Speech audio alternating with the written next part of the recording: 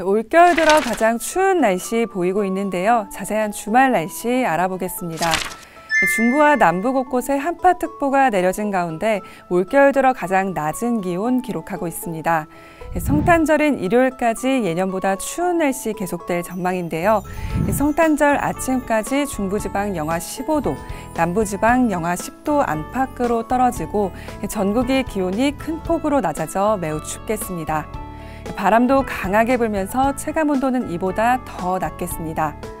한파 속 충청과 호남, 제주도는 폭설이 비상입니다. 이 지역은 대설특보가 내려진 가운데 토요일 아침까지 눈이 강약을 반복하겠는데요. 호남 많은 곳에 최고 20cm 이상, 제주 산지에도 최고 30cm의 눈폭탄이 더 쏟아지겠습니다. 충남 남부 서해안에도 5에서 최고 15cm의 눈이 내려 쌓이겠습니다. 이곳에 이미 많은 눈이 내려 추가 눈 피해가 우려되는 상황이니까요. 폭설에 각별히 주의하셔야겠습니다. 토요일 아침 최저 기온은 영하 20도에서 영하 2도, 낮 최고 기온은 영하 4도에서 7도가 되겠습니다. 일요일 아침 최저 기온은 영하 15도에서 영하 1도, 낮 최고 기온은 영하 2도에서 8도가 되겠습니다. 예, 다음 주는 맑은 가운데 영하권 날씨 이어지겠습니다. 이상 주말 날씨였습니다.